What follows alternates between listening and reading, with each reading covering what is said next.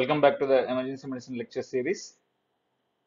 In the previous video, we have discussed about the importance of optimal management of fluid in a patient who is admitted to the hospital, fluids for resuscitation, fluids for replacement, fluids for routine maintenance.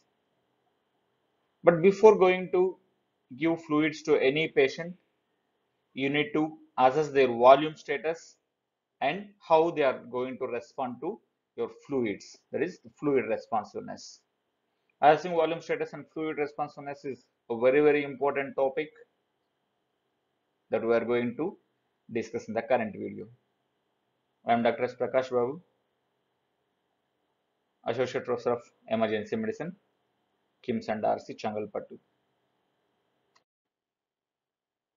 Evaluation and management of intravascular volume are a central challenge in caring for critically ill patients, especially so in the emergency departments.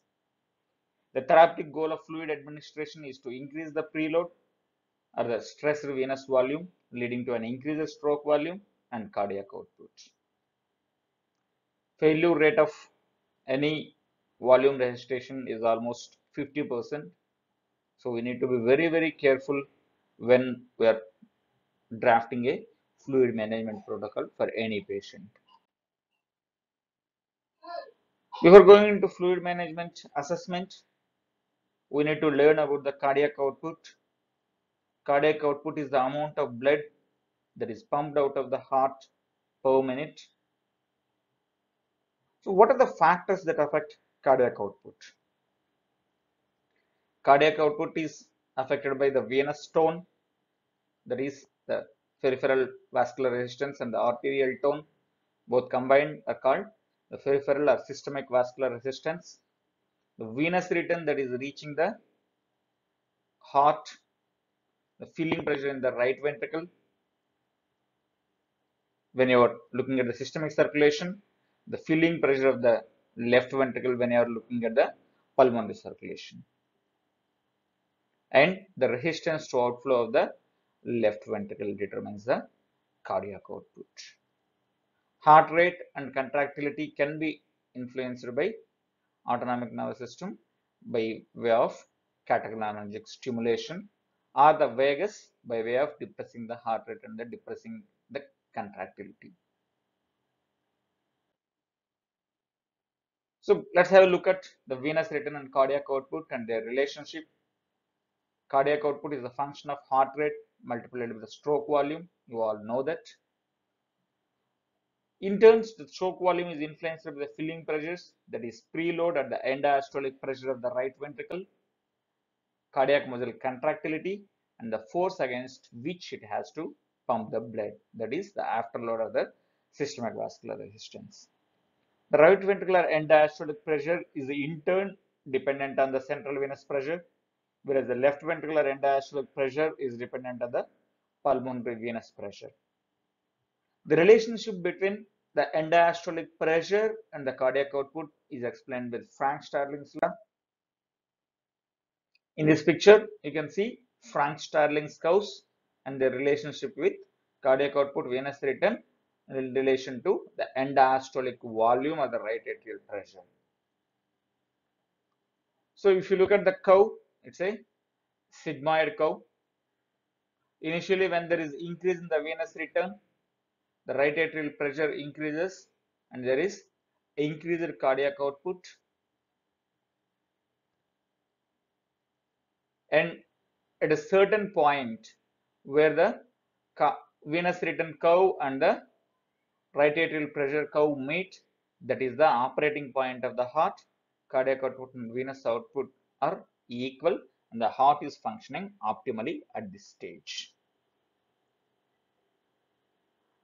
As you go on increasing the venous return, it reaches a peak and then the cardiac output flattens out. Even if you increase the venous return or the total blood volume, your cardiac output is not going to raise above that point. That is the point where you start getting complications. This dashed line here shows the influence of inotropic agents. If the inotropy increases, total peripheral resistance is decreased, for example, in exercise, cardiac output increases. Total peripheral resistance, for example, there is vasoconstriction, cardiac output falls. Extrinsic venous return mean the systemic pressure, mean systemic pressure. The blood volume decreases, the curve is going to come down and the cardiac output decreases, the blood volume increases and cardiac output increases. One major important point you need to remember here is the relationship is not linear, rather it is a sigma shaped or a parabolic curve wherein if you go on increasing the venous return, it reaches a specific point until which the cardiac output, also increases linearly and then the cardiac output flattens out. After that, whatever you do, the cardiac output is not going to increase. That is the point where the complications of fluid therapy start occurring. So you need to be detecting that point. There are certain static parameters and certain dynamic hemodynamic parameters that tell you about the fluid status of the patient. Your main aim in assessing fluid status is whether the patient is going to respond to additional fluids or the patient is not going to respond or the patient is going to develop complications.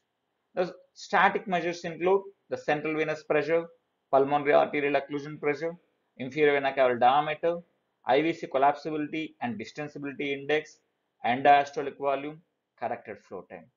Dynamic parameters which are very very important include pulse pressure variation, stroke volume variation, plethysmographic variability index, and modified fluid challenge in the form of passive leg raising test or mini fluid boluses. The static measures of preload reflect an individual's cardiac output at a given point of time, but they cannot inform the clinician whether the patient has a preload reserve or not. The test of fluid responsiveness should challenge an individual's Frank-Starling relationship and assess, assess the potential to advance in your fluid therapy either by way of increasing the blood volume or by way of increasing the other parameters like systemic vascularizations, cardiac contractility and things. So let us have a brief look at the normal hemodynamic parameters that we assess day in and day out in the emergency department. First and foremost is the arterial blood pressure.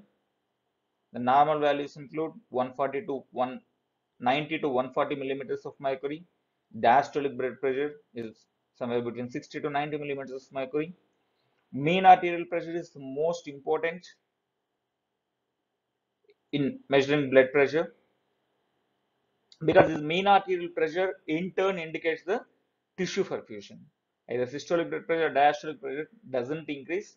Mean arterial pressure is the one which is staying throughout the cardiac cycle and this, this is an indicator of tissue perfusion specifically. It's calculated by SBP plus 2 into DBP divided by 3. The normally is 70 to 105 millimeters of mercury. And then the systolic pressure variation, systolic pressure maximum and systolic pressure minimum. Less than 5 millimeters of mercury, unlikely to be preload responsive. If it is greater than 5 millimeters of mercury, the patient is likely to be preload responsive. Pulse pressure variation is calculated as pulse pressure maximum minus pulse pressure minimum divided by pulse pressure maximum plus pulse pressure minimum divided by 2 into 100. If it is less than 10%, patient doesn't respond to fluids with more than 10 to 15% likely to be fluid responsive. Stroke volume vari variation, stroke volume maximum is measured and stroke volume minimum is measured. Divided by stroke volume max minus stroke volume minimum by 2 into 100 similar to pulse pressure variation less than 10% unlikely to be fluid responsive. More than 13 to 15% likely to be preload responsive right atrial pressure normal is 2 to 6 millimeters of mercury right ventricular pressure systolic is 15 to 25 millimeters of mercury diastolic is 0 to 8 millimeters of mercury Pulmonary artery pressure, systolic PASP is 15 to 25 millimeters of mercury. Diastolic is 8 to 15 millimeters of mercury. Main pulmonary artery pressure is calculated as PASP plus 2 into PADP into one third 10 to 20 millimeters of mercury. Pulmonary artery wedge pressure measured by Swan-Ganz catheter is 6 to 12 millimeters of mercury. Left atrial pressure is also 6 to 12 millimeters of mercury. Cardiac output is 4 to 8 liters per minute. Cardiac index is calculated as cardiac output per minute divided by body surface area is 2.5 to 4 liters per minute per meter square. Stroke volume measured as cardiac output by heart rate into 1000 60 to 100 ml per beat. Stroke volume index is cardiac index divided by heart rate into 1000 33 to 47 ml per meter square per beat. Systemic vascular resistance measured as 80 into mean arterial pressure minus right atrial pressure divided by cardiac output, the 800 to 1200 dynes second per centimeter square. Systemic vascular resistance index 80 into MAP minus RAP divided by cardiac index, which is 1972 2390 dynes second per centimeter square per meter square. Pulmonary vascular resistance 80 into MPAP minus PAWP divided by cardiac output. It is less than 250 dynes per second meter centimeter square. Pulmonary vascular resistance index 80 into mean pulmonary arterial pressure by mean arterial pulmonary arterial wedge pressure divided by cardiac output which is 255 to 285 dynes per sec dyne second per centimeter square per meter square. So what do you mean by fluid responsiveness or volume responsiveness?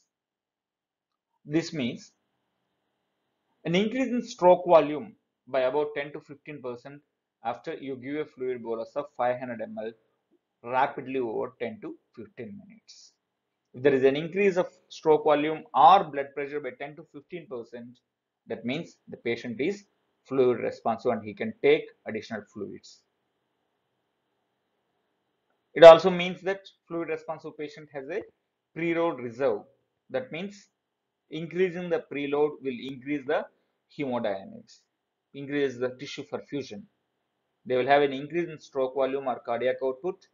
Definitive test for checking fluid responsiveness is a fluid bolus test, but other parameters are often used as surrogates. Most important test is the volume challenge test. It can be done in two ways by a passive leg raising test or by a mini fluid bolus test. In passive leg raising test, use of a simulated or small volume challenge has emerged as an approach to predicting fluid responsiveness. The passive leg raising test mobilizes approximately 300 ml from the lower extremities and transiently increases venous return as an autobolus. You know that the lower limb veins are called capacitance vessels. What do you mean by capacitance vessels? It is nothing but they can store a huge amount of blood. This approximately 300 to 500 ml of blood is stored normally either by pooling due to gravity or because of their distensibility, the blood is stored. You keep the patient in supine and then passively tilt the table to 45 degrees. Whatever blood that is pulled up in the lower limbs will be sent into the central circulation by way of gravity. That increases the venous return and thus increases the cardiac output in patients who are fluid responsive. Passive test is well validated and importantly can be used in patients with spontaneously breathing and dysrhythmia patients. One most important advantage of passive test is it can be fluid responsiveness can be assessed without having to give any fluids externally, thus minimizing the chances of patient going into pulmonary edema or fluid overload status. Mini bolus test, the same principle underlies use of mini bolus.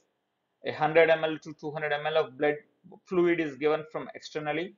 The clinician assesses cardiac output pre and post infusion to help predict whether a larger volume of crystalloid is likely to be beneficial or not. The surrogates markers, the first and foremost is the central venous pressure, which has been used extensively in the past, but gradually weaning off as a surrogate of fluid responsiveness because it is an invasive test. And there are better non-invasive methods available to, our, to assess the fluid responsiveness and volume status of a patient. Central venous pressure is nothing but the intravascular pressure in the great thoracic veins. As I told, it's an invasive procedure and requires placement of a central venous catheter. CVP is recommended in care of patients with septic shock. Even in septic shock, not all the cases of septic shock, in a specific number of cases, the CVP can be used. CVP measurements fail to predict the cardiac output response to fluid bolus. As I told earlier, it's not a dynamic measurement, it's a static measurement. So it doesn't predict response of cardiac output to the fluid bolus. Hypovolemia and shock decrease CVP, whereas fluid overload, vasoconstriction, and cardiac tamponade increase the central venous pressure. The next is pulmonary arterial occlusion pressure, PAOP. Pulmonary artery catheters can measure PAOP as well as cardiac output by thermodilution technique. Thermodilution technique, a specific fluid is given through a catheter at a specified temperature and the dilution is assessed to calculate the flow. PAOP has not proven predictive of volume responsiveness and carries risk of complications. Just like CVP, it is also an invasive procedure and placing a pulmonary artery catheter is a complicated process. Absence of diffuse sonographic B line suggests an occlusion pressure of less than 80 millimeters of mercury. So instead of actually measuring the pulmonary artery occlusion pressure, you can use the ultrasound to look for sonographic B lines in the lungs by using the blue protocol. And if sonographic B lines are absent, it indicates an occlusion pressure of less than 80 millimeters of mercury and thus the patient might be fluid responsive. Again, this is a static measurement, not much of useful in the emergency department. So inferior vena cava measurements is the most useful technique in the emergency department initially to assess the volume responsiveness of a patient. Ultrasound is used to measure the inferior vena cava diameter. IVC ultrasound is a non-invasive and relatively easy to perform. Beyond providing an estimate of CVP, the Caval index, the percentage collapsibility of the IVC collapsibility index has been proposed as a predictor of pre-roll leisure. The collapsibility of the IVC diameter is measured by obtaining long axis view of the IVC distal to the entry of the hepatic veins. For mechanically ventilated patients, instead of collapsibility index, you can use the distensibility index, which can be measured. So the mechanics are altered. Inspiration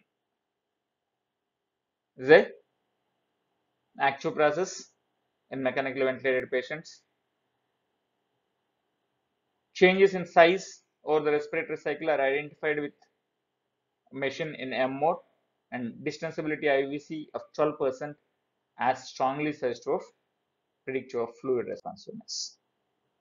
So this is a picture to show how you get the IVC diameter. You use a curvilinear probe and obtain a subxiphoid view of the heart. Once you obtain the subxiphoid view of the heart, locate the point of entry of inferior vena cava into the right atrium. This is the point of entry of inferior vena cava into the right atrium. And then you chase down the inferior vena cava to locate the point of entry of hepatic vein. you have to take the measurements about 2 to 3 centimeters distal to the point of entry of the hepatic vein where the IVC has its original diameter. So this is the IVC diameter. Once you measure the IVC diameter, go into M mode to assess either distensibility or collapsibility. This is the maximum diameter and this is the minimum diameter.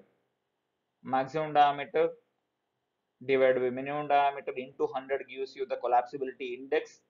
If the collapsibility index is more than 50%, that means the patient is fluid responsive. Or the actual diameter of IVC is less than 2 centimeters, the patient is said to be fluid responsive. There is a preload reserve. Flow time. Flow time is the time required for systole in the cardiac cycle. The time is corrected for heart rate and is calculated as flow time corrected is equal to systole time by square root of the total cardiac cycle time. Aortic flow time measurements typically obtained with an esophageal Doppler monitor. Pulse pressure variation and newer techniques. These are the dynamic indices which are very very useful and they predict fluid responsiveness not just the volume status at a given point. Pulse pressure variation is the difference between maximum and minimum pressure over a respiratory cycle divided by their mean. Pulse pressure variation is typically determined by a commercial hemodynamic monitor.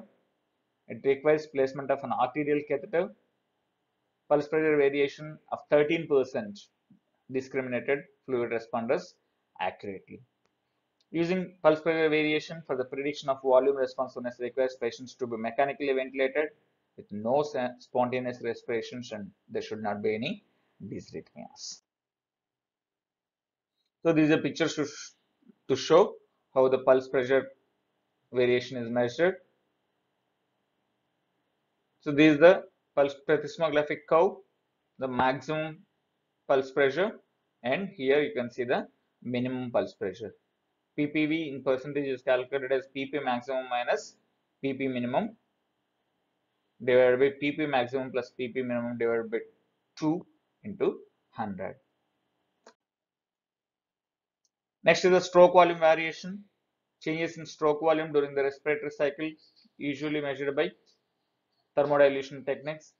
An arterial catheter and a commercial monitoring system analyze the shape of the pulse pressure contour to calculate the stroke volume. SVV thresholds of 12% suggest fluid responsiveness. SVV thresholds 12% suggest fluid responsiveness. Next is the plethysmographic variability index is measured by a commercial device. A threshold of plethysmographic variability index of 19% or the 94% sensitive and 86% specific. Here, just like in pulse pressure variation, in plethysmographic variation, there is a plethysmographic graph. This is the machine used to measure the plethysmographic index, maximum by minimum. Less 19% is 94% sensitive and 86% specific. Next is the echocardiography. Accurate non-invasive estimation of CVP by IVC size and PaOP by Doppler mitral flow, E by A ratio or tissue Doppler E by EA ratio. End-diastolic ventricular area has been studied as a marker of volume responsiveness.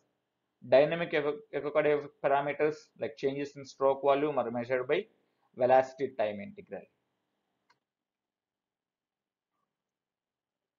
Now there is a pulsed Doppler. You can measure the mitral volume area with a pulsed Doppler. E wave velocity during the rapid filling phase and the atrial EA wave during the atrial contraction phase.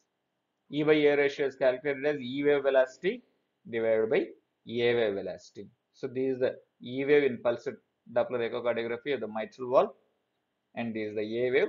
E by A ratio can be calculated.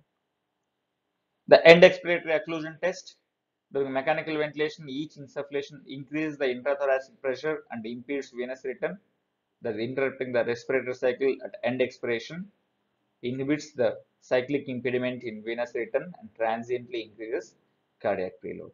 It has been demonstrated that if a 15 second end expiratory occlusion increases the arterial pressure or the pulse contour derived cardiac index by more than 5%, the response of cardiac output to a 500 ml saline infusion can be predicted with good sensitivity and specificity. So there are certain commercially available hemodynamic monitoring systems which can tell you about the volume status and fluid responsiveness of the patient. Let's look at some of them. Most importantly, the bioreactance technology device is NICOM. This is a non-invasive. Non-invasive continuous cardiac output measurements can be obtained with the NICOM device. Fewer validation studies are available. Accuracy may be decreased in critical illnesses. Then plethysmographic wave of analysis. Uh, the device is Radical 7. is a non-invasive measurement. Continuous cardiac output measurements can be obtained which gives you variations over time. It's easy to use and non-invasive. Decreased accuracy with poor perfusion requires calibration very frequently, validated in ventilated patients with a greater than tidal volume of greater than 8 ml per kg hmm. SO. Next is pulmonary artery catheter. Device name is Vigilance. It's a central arterial catheter. Uses the thermodilution principle measurements of multiple hemodynamic parameters, cardiac output measurement, gold standard. It's highly invasive. Intermittent cardiac output measurements can be done. Poor predictor for fluid responsiveness. Pulse contour analysis. You have multiple techniques like FloTrac, LiDCO, PiCCO. FloTrac is the arterial catheter. Uses the pulse wave analysis technology. Uh, LiDCO is an arterial catheter uses lithium dilution. Central arterial and venous catheters use thermodilution in PiCCO technology. They're all invasive, but they can measure continuous cardiac output measurements with accuracy. PRAM, again, one more arterial catheter uses the pulse wave analysis technique.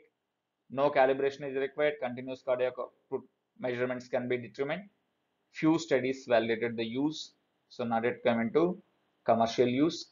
ClearSight, Nexfin, non-invasive pulse wave analysis, volume view, central and venous catheters, thermodilution techniques. Again, they are non-invasive and continuous cardiac output measurements can be done. Ultrasound, CardioQ with an esophageal probe, uses Doppler ultrasound, is well validated and gives you continuous cardiac output measurements, but it is operator dependent